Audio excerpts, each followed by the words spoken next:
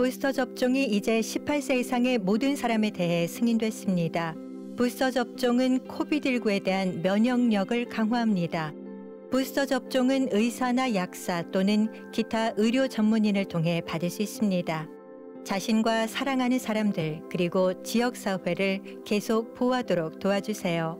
australia.gov.au에서 부스터 접종을 예약하세요. 캔버라 호주 정부의 승인을 받았습니다.